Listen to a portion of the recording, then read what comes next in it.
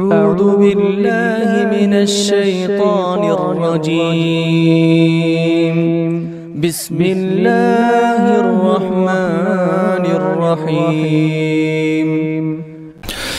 السلام عليكم ورحمة الله وبركاته. الحمد لله رب العالمين والصلاة والسلام على أشرف الأنبياء والمرسلين وعلى آله وأصحابه أجمعين. ومن تبعهم بإحسان إلى يوم الدين. أما بعد. قال الإمام البخاري رحمه الله باب من لطم عبده فليعتقه من غير إيجاب. الادب المفرد کے درس میں ہماری اپنی گفتگو جو جاری ہے، اس کا تعلق غلاموں کے ساتھ معاملہ کرنے کے آداب سے ہے۔ گزشتہ ہفتے جو ہمارا اپنا درس ہوا، اس میں جو آخری باب، آخری عنوان ہم نے سنا وہ یہ کہ اگر غلام کی کسی غلطی پر اس کی تربیت اور اس کی اصلاح کے لیے اسے سزا دی جا رہی ہے، آدمی مار رہا ہے، تو چہرے پر مارنے سے منع کیا گیا۔ اللہ کے نبی نے کہا، چہرے سے، چہرے پر مارنے سے پرہیز کریں۔ آج جو عنوان ہے وہ یہ کہ اگر کسی نے چہرے پر مار دیا، تھپڑ مار دیا کسی نے، اپنے غلام کو تھپڑ مار دیا، تو اس کو کیا کرنا چاہیے؟ امام بخاری رحمۃ اللہ علیہ نے باب لکھا فل یعتق ہو اس کو چاہیے کہ وہ اس غلام کو آزاد کر دے۔ چہرے پہ مارنا منع ہے، لیکن اگر کسی نے مار دیا تو کہا اس کا کفارہ یہ ہے کہ اس غلام کو آزاد کر دے۔ امام بخاری نے کہا، من غیر ایجاب لیکن یہ آزاد کرنا ضروری نہیں ہے۔ گویا آزاد کر دینا بہتر ہے، واجب نہیں ہے۔ آزاد کر دینا بہتر ہے، واجب نہیں ہے۔ مسئلہ یہ ہے کہ غلام کے ساتھ معاملے کے آداب میں ایک ادب یہ ہے کہ اگر اس کو سزا دی جا رہی ہے، اس کو مارا جا رہا ہے، تو چہرے پہ مارنا نہیں چاہیے۔ لیکن اگر کسی نے تھپڑ مار دیا، چہرے پر مار دیا، تب پھر یہ اتنی بڑی غلطی ہے کہ ہو سکتا ہے اللہ تعالیٰ کے پاس اس کا سخت سے سخت مواخذہ ہو اور آدمی اس سے بچنا چاہتا ہے کہ اللہ کے پاس میری پکڑ نہ ہو، میری گرفت نہ ہو، تو اس کے لیے سب سے بہتر راستہ یہ ہے کہ اپنی غلطی کے کفارے کے طور پر اس کو آزاد ہی کر دے۔ جس غلام کو مارا ہے اس کو آزاد ہی کر دے۔ یہی جو ہے سب سے بہتر راستہ۔ یہ کیا واجب ہے؟ ایسا کرنا، کسی نے بھی تھپڑ مارا تو غلام کو آزاد کرنا واجب ہو جائے گا۔ پیارے نبی صلی اللہ علیہ وسلم ہی سے واقعہ وارد ہے کہ اللہ کے نبی صلی اللہ علیہ وسلم کے سامنے ایک گھر والوں نے اپنا معاملہ پیش کیا تو اللہ کے نبی نے کہا آزاد کر دو۔ ان لوگوں نے کہا اللہ کے نبی یہی ایک غلام ہے جو خدمت کرتا ہے اور کوئی نوکر چا کر گھر میں نہیں ہے جو کام کر سکیں تو اللہ کے نبی صلی اللہ علیہ وسلم نے کہا کہ ٹھیک ہے، اگر ایسی کوئی بات ہے تو پھر تم اسے اپنی ملکیت میں باقی رکھو۔ لیکن خیال رکھو، آئندہ کبھی آسانی پیدا ہو، کوئی اور غلام تمہارے پاس آ جائے تب جا کر صحیح اسے آزاد کر دو۔ اس سے مسئلہ معلوم ہوا کہ جس غلام کو تھپڑ مار دیا جائے، اس غلام کو تھپڑ مارنے کے بعد کفارہ یہ ہے کہ اس کو آزاد کر دیا جائے۔ یہیں سے یہ بھی سمجھ میں آتا ہے کہ غلام کے چہرے پر مارنا کتنا بڑا گناہ ہے کہ اللہ کے نبی نے اس کے کفارے کے لیے آزادی کا پروانہ دینے کا حکم دیا۔ اور یہ واجب نہیں ہے، لیکن بہتر ہے۔ اللہ کے نبی نے یہاں تک کہا کہ اب گنجائش نہیں تو اب غلام کو رکھو ملکیت میں۔ کام چا کام دھام لیتے رہو۔ لیکن جب آسانی پیدا ہوتا تم اسے آزاد کر دو۔ یہ ادب ہے اسلامی شریعت جو غلاموں کے ساتھ معاملے کے سلسلے میں سکھلاتی ہے۔ آپ میں جانتے ہیں کہ ہمارے زمانے میں غلاموں کا وجود نہیں ہے۔ ہمارے پاس نوکر چاکر کا مسئلہ ہے۔ ہمارے اپنے جو نوکر ہیں، خادم ہیں۔ آپ جن کو ورکر کہتے ہیں، کمپنی کی اصطلاح میں، گھر میں خادم، خادمہ کہتے ہیں، کام کرنے والا کہتے ہیں۔ یہ جو نوکر چاکر ہیں اسلامی شریعت کا یہ حکم ہے کہ اگر وہ بھی غلطی کرتے ہیں اور آپ کو مارنے کا اختیار ہے، اگر اگر مارنے کا اختیار ہے، ایسا نوکر ہے جو آپ کی مار کھا کر آپ کے پاس رہ سکتا ہے، اس لیے کہ عرف میں الگ الگ قسم کے نوکر ہیں ہمارے پاس۔ کچھ ہیں جو اجرت پر کام کرتے ہیں۔ ان کا معاملہ بس اس حد تک ہے کہ جو کام کر رہے ہیں، وہ اجرت آپ کو دے دیں گے، اس سے زیادہ کچھ نہیں۔ آپ کو مارنے توڑنے کا تو ان کا اختیار نہیں ہے آپ کو۔ آپ ان کو مار ہی نہیں سکتے۔ لیکن وہیں ایسا بھی ہے، ہمارے اپنے سماج میں ہے کہ کبھی کبھار بعض غریب گھرانے کے لوگ اپنے بچے کو یا بچی کو کسی گھر میں رکھ چھوڑتے ہیں کہ وہاں خدمت کرے اور بچہ پل جائے گا، بچی پل جائے گی، اس کی شادی بیاہ با بڑے ہونے کے بعد کروا دیں گے۔ بعض غریب ماں باپ اپنے بچے یا بچی کو گھر میں دے دیتے ہیں۔ اب یہ غلام نہیں ہے۔ ذہن میں رکھیے کہ ایسے نوکر جو آپ کے گھر میں آپ کی روزی روٹی کھا پی کر پل رہے ہیں وہ آپ کے غلام نہیں ہیں، وہ نوکر کے نوکر ہی ہیں۔ ہاں وہ نوکر جو اجرت پہ کام کرتا ہے، اس کے مقابلے میں آپ اس پر زیادہ حق رکھتے ہیں۔ اور چھوٹے ہیں، غلطی کرتے ہیں، تو ظاہر بات ہے، ایسے نوکر چاکر کو مارنے کا آپ کو اختیار ہو سکتا ہے۔ جیسے اپنی اولاد کو تربیت کے لیے آپ مارتے ہیں ویسے نوکر کو مارنے کا اختیار رکھتے ہیں۔ اسلامی شریعت کہتی ہے کہ اگر آپ تربیت کر رہے ہیں ان کو مارے نہیں، چہرے پر۔ ان کے چہرے پر مت ماریں۔ ہمارے ہاں جیسے میں نے گزشتہ درس کے اخیر میں بھی کہا کہ کسی کو سزا دینا ہو بچوں سے لے کر کسی دشمن سے لڑائی کا بھی ہو، ہاتھ سب سے پہلے چہرے پر ہی جاتا ہے۔ عورتیں ہو تو تھپڑ مارتی ہیں اور مرد ہو تو گھوسا مارتے ہیں، لیکن چہرے پر سب سے پہلے مارتے ہیں۔ اسلامی شریعت میں چہرے پہ مارنا چاہے آپ کا دشمن ہی کیوں نہ ہو، بالکل جائز نہیں۔ اور جب دشمن کو ہی مارنا جائز نہیں تو اپنے بچے کو یا اپنے گھر میں کام کرنے والی ایسی خادمہ جو آپ کے گھر کا حصہ ہے یا ایسا بچہ چھوٹا بچہ یا بڑا ہی صحیح جو آپ کے گھر کا حصہ بن گیا ہے، کبھی مارنے کی ضرورت پیش بھی آتی ہے اور اس کی گنجائش ہے، چہرے پر نہیں مارنا چاہیے۔ اسلامی شریعت کی نظر میں چہرے پہ مارنا بہت بڑا جرم ہے۔ اللہ کے نبی نے اس سے منع کیا۔ اس باب میں امام بخاری نے جو بات بتائی ہے، اس کا تعلق ایسے نوکروں سے نہیں ہو سکتا۔ اس لیے کہ جو آپ کا غلام ہے، اسے آزاد کرنا پڑے گا کفارے کے لیے۔ لیکن اگر آپ نے کسی ایسے بچے کو مار دیا، کسی نوکرانی کو تھپڑ مار دیا آپ نے، تو آپ آزاد کرنے کے لیے اس کے مالک تو نہیں ہیں، لیکن یہ ہو سکتا ہے کہ آپ اسے راضی کرنے کی کوشش کریں۔ کیسے؟ اہل علم نے ذکر کیا کہ جیسے آپ اسے بعد میں کوئی اچھا کپڑا دلا دیں یا کوئی اچھی سی جگہ لے جا کر کھلانے پلانے کہتے کوئی طریقہ ایسے کہ اس کے دل سے وہ جو آپ کے تھپڑ چہرے پر آپ نے مارا ہے، اس کا احساس ختم ہو جائے، اسے راضی کرنے کی کوشش کریں۔ جیسے غلام کی سب سے بڑی تمنا یہ ہوتی ہے کہ مجھے آزادی مل جائے۔ تو اللہ کے نبی نے جب غلام کو مارنے پر آزاد کرنے کا حکم دیا تاکہ وہ راضی ہو جائے، تو ایسے ہی نوکر چاکر کے معاملے میں ہونا یہ چاہیے کہ آپ اگر ایسی غلطی کر بیٹھیں کرنا نہیں چاہیے، لیکن اگر ہو گئی ہے تو پھر آپ اسے راضی کر لیں کسی بھی صورت میں کہ وہ آپ کل کے دن آپ سے محاسبہ نہ کرے، کل کے دن آپ اللہ تعالیٰ کے پاس پکڑے نہ جائیں۔ یہ مسئلہ مسئلے کی وضاحت کی حد تک ہے۔ اس باب میں جو حدیثیں آئی ہیں، وہ میں آپ کے سامنے ذکر کر دوں۔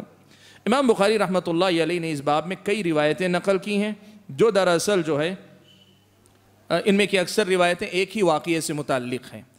پہلی روایت جو اس میں ذکر کی ہے، وہ ہے حضرت سوید ابن مقرن رضی اللہ تعالیٰ عنہ، سوید ابن مقرن رضی اللہ تعالیٰ عنہ صحابی ہیں اللہ کے نبی صلی اللہ علیہ وسلم کے۔ ان کا ایک واقعہ نقل کیا، کہتے ہیں ایک صحابہ ہلال بن یساف، یہ تابعی ہیں۔ وہ کہتے ہیں کہ ہم سوید ابن مقرن رضی اللہ تعالیٰ عنہ کے گھر کے پاس کپڑا بیچ رہے تھے، کپڑا بیچنے کا کام کر رہے تھے۔ فخر ججاریت فقالت لرجل شیئا۔ تو گھر سے ایک لونڈی نکل کر آئی، ایک خادمہ، ایک لونڈی جو ہے نکل کر آئی۔ اور اس نے وہاں موجود لوگوں میں سے کسی سے کچھ کہہ دیا۔ فلطمہ ذلك الرجل، تو اس آدمی نے اس لونڈی کے چہرے پہ تھپڑ مار دیا۔ فقال له سوید ابن مقرن، حضرت سوید ابن مقرن نے ان سے کہا الطم توجہ کیا تم نے اس کے چہرے پہ تھپڑ مارا؟ لقد رأيتني سابع سبعة، سنو، میں اللہ کے نبی صلی اللہ علیہ وسلم کے ساتھ موجود تھا، ہم سات لوگ تھے، میں ساتواں تھا، چھ تھے، ان کے ساتھ میں ساتواں تھا۔ وما لنا الا خادم، ہمارے پاس ایک ہی خادم تھا، سات لوگوں کی خدمت کے لیے ایک ہی۔ فلطمها بعضنا، تو ہوا یہ کہ ہم میں سے کسی ایک نے اسے تھپڑ مار دیا۔ فَأَمَرَهُ النَّبِيُّ صلی اللہ علیہ وسلم ان يُعْتِقَهَا، تو اللہ کے نبی نے اسے حکم دیا کہ اس لونڈی کو آزاد ہی کر دے۔ یہ واقعی اس سے سمجھ میں آتا ہے کہ لونڈی کو اگر تھپڑ مار دے، تو پھر اسے جو آزاد کر دینا چاہیے۔ اور بظاہر سمجھ میں آتا ہے کہ واجب ہے۔ اللہ کے نبی اگر حکم دیتے ہیں، تو حکم کا مطلب واجب ہوتا ہے۔ تو یہی یہیں تک اگر واقعہ ہوتا تو یہ کہا جاتا کہ جس غلام کو بھی تھپڑ مار دیا جائے اسے آزاد کرنا واجب ہے۔ لیکن جیسے حدیث آئندہ آئے گی جو ہمارے سامنے مسئلے کی وضاحت مکمل کرے گی، دیکھیں۔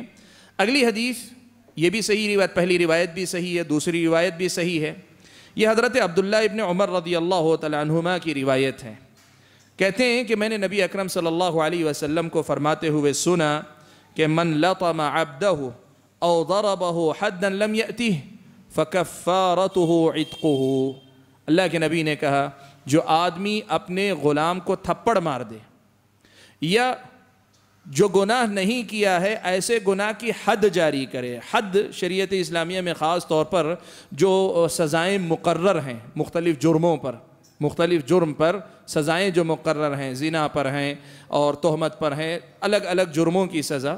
ایسی کوئی سزا اپنے غلام کو دے دیں حالانکہ اس نے وہ جرم کیا نہیں ہے۔ اللہ کے نبی نے کہا کہ اس کا کفارہ یہ ہے کہ وہ اسے آزاد کر دے۔ جو غلطی تم سے، ایسا کرنا غلط ہے۔ گناہ کیا نہیں بیچارہ، تم حد جاری کر رہے ہو۔ اس نے غلطی کی ہے، لیکن تم اس کے چہرے پہ مار رہے ہو۔ یہ دونوں تمہاری غلطی ہیں۔ اور اگر ایسی غلطی تم سے ہوئی ہے، تو اس کا کفارہ یہ ہے کہ تم غلام کو آزاد کر دو۔ یہ حضرت عبداللہ ابن عمر رضی اللہ تعالیٰ عنہما نے روایت کیا ہے۔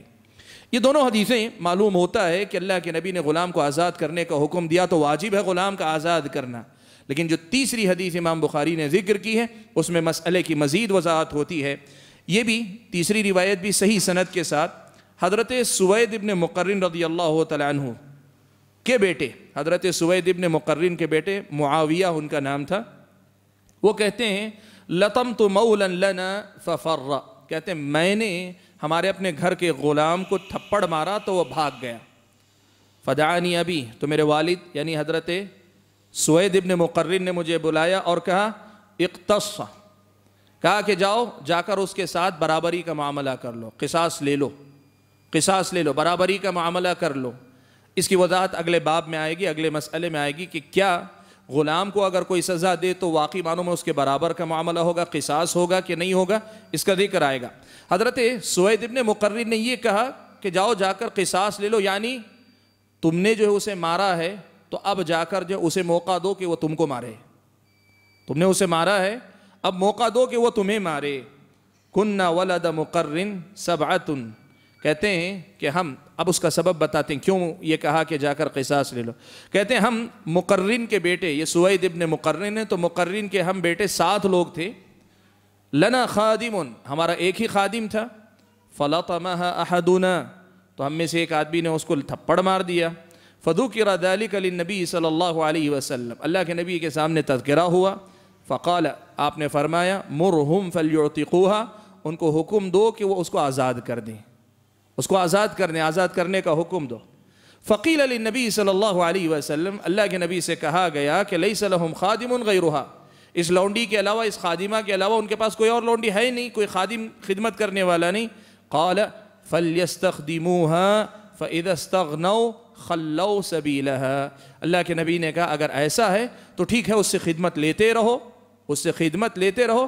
فَإِنِ اسْتَغْنَوْا بعد میں جا کر بے نیاز ہو جائیں یعنی اور کوئی خادم مل جائے، ایک اور خادم بھی ان کے پاس ہو جائے گھر میں، فَلْيُعْتِقُوهَا، تو ایسی صورت میں اسے آزاد کر دیں۔ یہ بھی صحیح حدیث ہے۔ اس حدیث کی روشنی میں یہ مسئلہ معلوم ہوتا ہے۔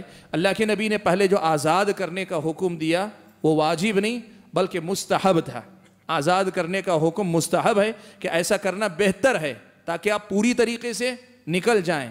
پوری طریقے سے اس غلطی کے کفارے کا جو اثر آپ پر ہو سکتا ہے کل حساب و کتاب میں، اس سے آپ آزاد ہو جائیں۔ اس لیے اللہ کے نبی صلی اللہ علیہ وسلم نے حکم دیا۔ لیکن اس حدیث سے یہ بھی معلوم ہوا کہ اگر کوئی روک کر رکھتا ہے، اس لیے کہ ان کے پاس کوئی اور خادم نہیں ہے، تو پھر ایسا روکنا جائز ہے۔ البتہ روک کر رکھتا ہے تو یہ ضرور ہوگا کہ جو ناحق مارا ہے، ناحق سزا دی ہے، اس کی ذمہ داری باقی رہے گی۔ اگر روک کر رکھ لیتا ہے تو پھر یہ دیکھے کہ اس کے اس حق کی تلافی کیسے کر سکتا ہے؟ ناحق مار دیا یا تھپڑ مار دیا تو اب اس کا بدلہ کیا ہو سکتا ہے؟ آزاد تو نہیں کر رہا ہے، اس کا بدلہ کیا ہو سکتا ہے؟ اس پر آدمی غور کر کے اسے راضی کرنے کی کوشش کرے۔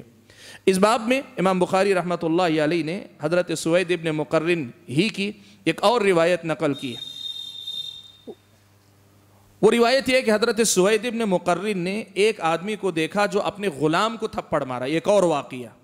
سوید ابن مقرری نے دیکھا کہ کسی نے اپنے غلام کو تھپڑ مارا تو فقال، تو حضرت سوید ابن مقرن نے کہا، اما علمت ان الصورت محرمہ تمہیں پتہ نہیں ہے کہ چہرے پہ مارنا حرام ہے؟ تمہیں پتہ نہیں کہ چہرے پہ مارنا حرام ہے؟ اس سے مسئلہ اور واضح ہوتا ہے کہ چہرے پر مارنے کی جو ممانعت ہے، یہ صرف غلاموں سے متعلق نہیں ہے، بلکہ چہرہ اپنے آپ میں ایک محترم جگہ ہے، قابل احترام جگہ ہے۔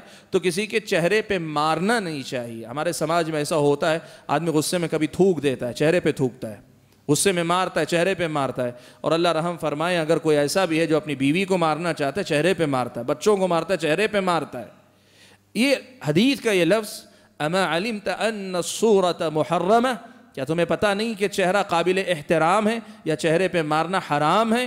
کیا تمہیں پتہ نہیں؟ یا حضرت سوید ابن مقرن نے کہا، پھر اپنا واقعہ دہرایا، کہا، میں اپنے آپ کو دیکھ رہا تھا کہ ہم سات بھائی تھے، میں ساتواں بھائی تھا، ساتوں میں سے ایک بھائی تھا۔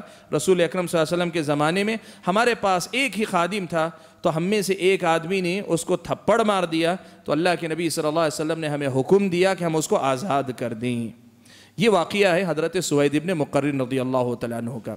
اس باب میں جو آخری حدیث، جو آخری حدیث حضرت امام بخاری رحمۃ اللہ علیہ نے نقل کی ہے وہ یہ کہ ایک صاحب ہیں جن کا نام ہے زادان زادان، یہ تابعی ہیں۔ کہتے ہیں کنہ عند ابن عمر ہم حضرت عبداللہ ابن عمر رضی اللہ تعالیٰ عنہما کے پاس تھے۔ فدعا بغلام له كان ضربه۔ حضرت عبداللہ ابن عمر رضی اللہ تعالیٰ عنہ نے اپنے ایک غلام کو بلایا جسے حضرت عبداللہ ابن عمر نے مار دیا تھا۔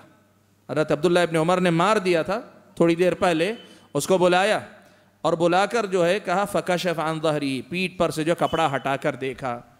فقال، ایوجعوک؟ کہا کہ جو مار پڑی ہے، تکلیف ہو رہی ہے کیا؟ قال، لا۔ غلام نے کہا کہ نہیں، کوئی تکلیف نہیں ہے۔ فاعتقہ۔ حضرت عبداللہ ابن عمر نے پھر بھی غلام کو آزاد کر دیا۔ یعنی جو مار ماری تھی، غصے میں مار دیے تھے۔ مارنے کے بعد احساس اور مارے بھی چہرے پہ نہیں پیٹ پر مارے تھے۔ لیکن مارنے کے بعد واپس احساس ہوا تو بلا کر پوچھا۔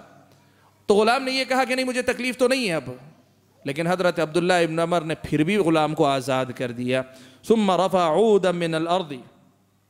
پھر اس کے بعد زمین سے جو ہے ایک لکڑی اٹھائی، چھوٹی سی ایک تنکا اٹھایا اور کہا فقال، ما لي من الاجر ما يزن هذا العود. کہا کہ، میں نے غلام کو آزاد کر دیا ہے، لیکن غلام کو آزاد کرنے کا مجھے اس لکڑی کے برابر، اس اس معمولی سے جو تنکے یا لکڑی کے برابر بھی مجھے ثواب نہیں ملے گا۔ غلام کو آزاد کر دیا۔